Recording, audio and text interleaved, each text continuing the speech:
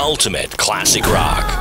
This day in rock history, August 14th. Today is David Crosby's birthday. In 1970, Hawkwind introduces the world to progressive space rock with the release of their self titled Hawkwind album, which was recorded at the famous Abbey Road Studios. Lemmy of Motorhead was a one time member of Hawkwind. In 1985, Michael Jackson buys the rights to the Beatles catalog. Where did MJ get the idea in the first place? From Sir Paul himself. We wrote two songs together, and during lunch or something, he just took me aside and said, I'd like some advice.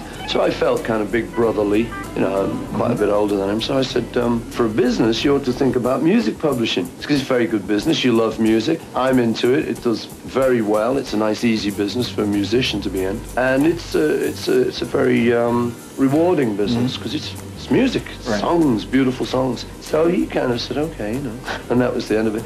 And then a couple of weeks later, we were chatting, and he just came up to me and said, I'm going to buy your songs, you know. And I went, yeah. For Ultimate Classic Rock, I'm Zach Martin. Explore the past, present, and future of rock's biggest legends on UltimateClassicRock.com.